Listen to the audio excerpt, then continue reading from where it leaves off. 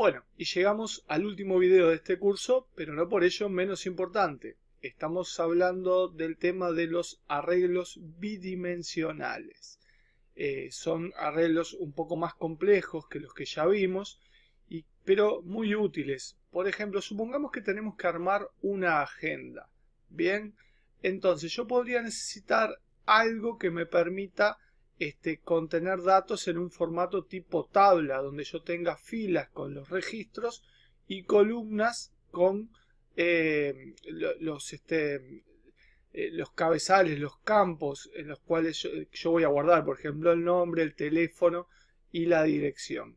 Entonces, ¿cómo podría hacer yo esto en PCInt? Vamos a trabajar con tres registros para no complicarlo mucho. Eh, bien, lo que voy a hacer primero que nada es definir el, arreglo, ¿no? Entonces va a ser un arreglo de 3 por 3. 3 filas, 3 columnas va a tener ahí. Entonces, lo voy a cargar, por ejemplo. Entonces voy a decir, bueno, me falta ponerle el nombre, ¿no? Eh, agenda se va a llamar. Bien, entonces, la agenda en la posición 1, 1, va a ser igual, va a tener un nombre. Por ejemplo, Juan la agenda en la posición 1, 2 va a tener un número de teléfono.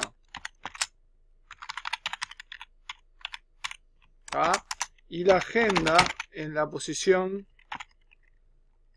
1, 3 va a tener una dirección. ¿Ah? Entonces, ahí ya está el dato cargado de toda la fila 1, de toda la primera persona, del primer registro. Yo podría hacer exactamente lo mismo para cargar el dato del, segundo. Vamos a hacer algún cambio nada más. Fíjense que en el 2 yo voy a tener a Juana, que va a tener y va a vivir en otra dirección. Ahí está, y en y acá voy a tener a Julia, en la 3 está y que va a vivir en la calle Maldonado y va a ser de otra compañía. Ahí está su teléfono. Bien entonces yo tengo cargados los datos. Entonces yo ahora puedo empezar a jugar con esos datos. Supongamos que yo quisiera eh, ver todos los, este, los nombres de las personas por ejemplo. Imprimir los nombres de las personas, ¿no? Entonces, voy a sacar este paso a paso, voy a volver por acá. Ahí está. Entonces puedo, al igual que con los arreglos, puedo trabajar con, con un for, con un para. Entonces le digo, bueno, a veces esta ayuda me saca pantalla. Ok, para una variable numérica n, eh, que arranque en 1 hasta 3, de A1 le voy a pedir que me escriba em, lo que hay en la agenda en la posición n,1 porque yo solamente yo quiero todo lo que está en la columna 1 bien y puedo poner acá vamos, vamos a decir que estamos haciendo. Todos los nombres ¿no? entonces probamos a ver qué pasa. Y ahí todos los nombres Juan, Juana y Julia. Bien. Este. Podría, podría por ejemplo, eh, mirar, dado un nombre, dado un nombre, eh, conocer todos sus datos. Ahí ya estaría bueno porque tendría que recorrer toda la fila de, de nombres, buscar uno que fuera igual a Juan y ahí pasar todos los datos. Ahí la estamos complicando más, ya es un tema más de base de datos, tendríamos que tener un, este, una clave en la tabla que me asegurara de que los registros no fueran únicos, pero bueno, se podría llegar a hacer. Si yo quiero, por ejemplo, tener los datos de toda, de toda, toda la tabla, tengo que tener, este, tengo que saber recorrer una matriz, una red bidimensional, y estos son matrices, esto nosotros lo conocemos con el nombre de matrices, y para ello se usa la técnica del, doble for anidado.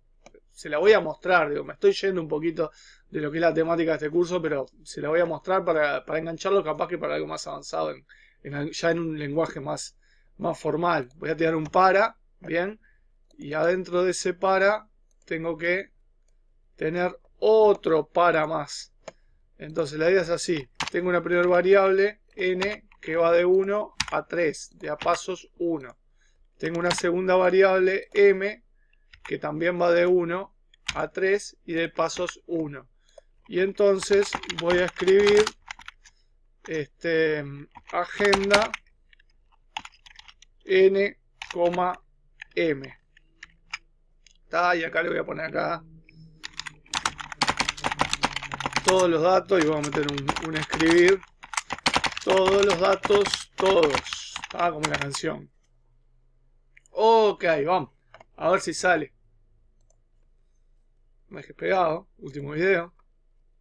Ahí vieron que apareció todos los datos todos. Y ahí apareció Juan. Este. El teléfono. Podríamos poner también para que quede más bueno. Ya que nos ponemos, nos ponemos coquetos. Vamos a darle una separación entre cada uno. Voy a cerrar esto para que se vea. Ahí está. Bueno, vieron que ahí esto es interesante. Vieron que la me separó, pero me entró a separar línea por línea. No era lo que yo estaba buscando. Lo que yo estoy buscando es que la separación se dé cuando termina de escribir un registro. Entonces, este escribir lo pongo, por ejemplo, cuando termina el primer for. Y a ver ahí. ¡Opa! Ahora sí, ¿eh? Ahí aparecieron. ¿Está? Espectacular. Bueno, pueden jugar con esto, pueden armar sus, sus agendas. Este, nada, de mi parte es todo. Espero que les haya gustado la herramienta. Es una herramienta que tiene mucho, mucho potencial. Seguramente pueda agregar este, algunos videos más con ejemplos. Y bueno, nada, nos vemos en el próximo curso.